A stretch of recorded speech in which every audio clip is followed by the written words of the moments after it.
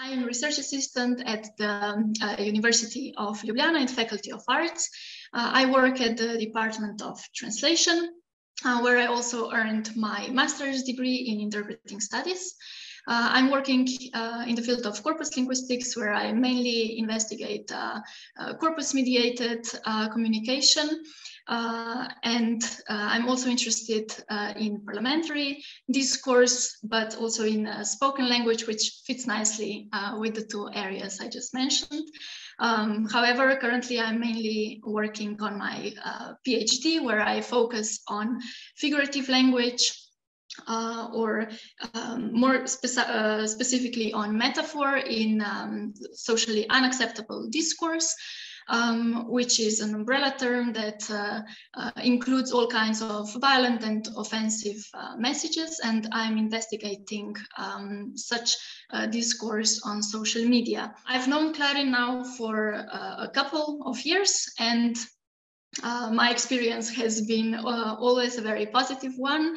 Um, I, I, gained a lot um, not just because uh, I can get uh, I can get a lot of um, resources, uh, mainly the corpora, which are um, the the basis of my um, of, my research, but uh, also different funding opportunities and the community. Um, where I can always find someone that can help me out with my uh, questions regarding uh, my research work.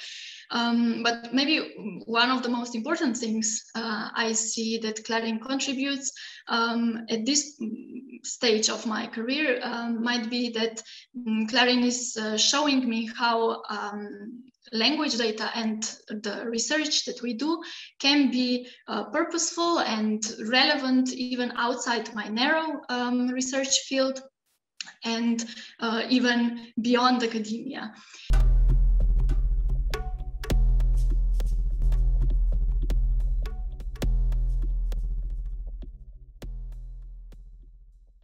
The work that I'll uh, that we'll talk about uh, today, the tutorial Voices of the Parliament, um, is uh, was a collaborative work done with Darja Fišer, uh, who is associate professor at the University of Ljubljana and also um, the DARIAH National Coordinator for Slovenia. Our tutorial Voices of the Parliament uh, uses corpus of parliamentary records to investigate the impact of gender on parliamentary debates.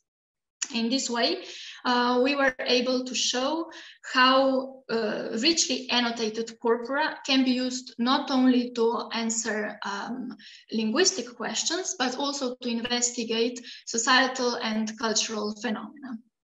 Uh, we wanted to develop a tutorial that doesn't um, require from uh, the users any programming skills.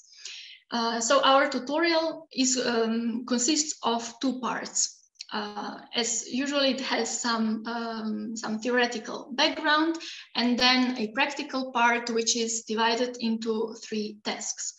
Um, the tutorial is uh, built in such a way that the user can easily jump from one topic to the other uh, or um, well, uh, he or she can do everything uh, part by part or uh, just skip the parts that um, they're not interested in. Um, the in the first part, in the theoretical part, the users uh, get to know the basics of corpus linguistics and um, briefly um, um find out what are um, the, the main uh, findings of uh, gender studies into parliamentary discourse, but also um, gain some knowledge into the, the specifics of parliamentary records. This helps them then to understand what are the limitations posed by the data um, that has been chosen for, for this research um, but also for uh, what research questions can actually be answered with such data. Then the practical part consists, as I mentioned, of uh, three tasks. And in those uh, tasks, we uh, show the users how to uh, use the basic but uh, very uh, powerful corpus analysis techniques to answer um, three broad topics. The, the, first one is about uh, the production of parliamentarians. The second one is about uh, the most prominent topics that uh, are discussed by female and male parliamentarians. And the third task is about um, the topics, the issues that are related to women.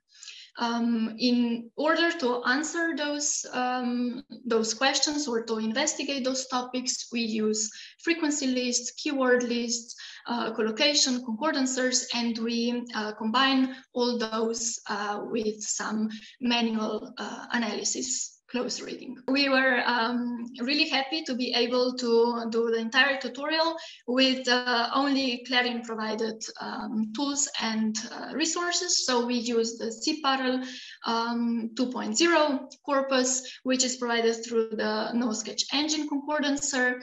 Um, and both of these um, um, materials are available through the Clarin National Center uh, of Slovenia so of course we um, encountered some challenges and uh, it it took us quite a lot of time to to prepare the, the final version uh, because we really wa wanted to uh, implement all the suggestions from students and teachers uh, that gave us feedback on our tutorial. But um, maybe as, as the, the two main uh, challenges that we encountered um, was the first one, the um, the time period needed for uh, for developing such a tutorial um, because we didn't want to use just uh, generic query terms in order to show how a particular concordancer uh, work.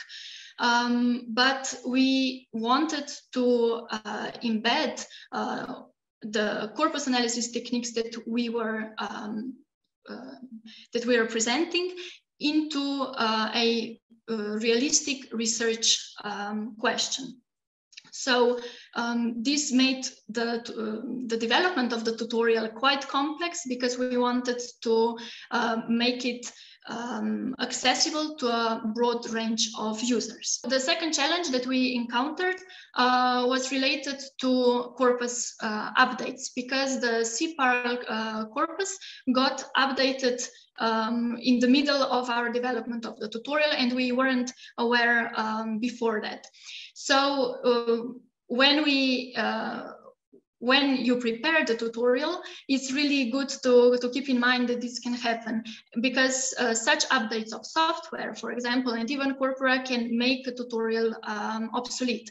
In our case, however, because we didn't focus uh, on presenting the uh, techniques alone, but to embed them in actual research uh, question, our tutorial won't get irrelevant even if the, um, the user face of the concordancer gets changed.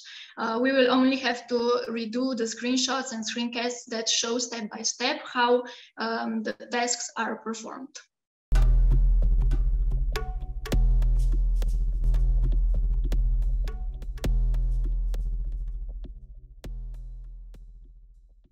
We thought about uh, reusability on several uh, stages um, during the development of the tutorial. Um, and I'd say that the first point is that we provide our tutorial in two languages, in English and Slovene.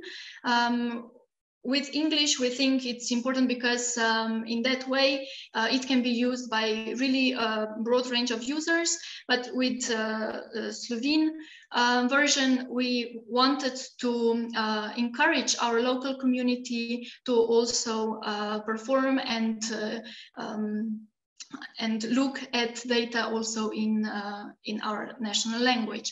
Then the second um, point with regard to reusability concerns the actual data we used, uh, that is the parliamentary debates. Uh, we used uh, parliamentary debates intentionally because the parliamentary corpora are among um, the most uh, comparable uh, corpora that are available now through um, uh, through resource families, also thanks to the Parla Clarin initiative, and can be easily accessed and, and searched uh, through Clarin repositories. And then the third point with regard to uh, reusability is the methodology. The users um, that will do the, the tutorial uh, will will get to know and will learn and also assimilate the techniques that we uh, show to the point where they will be able to um, to think of possible uses of those techniques also in other contexts.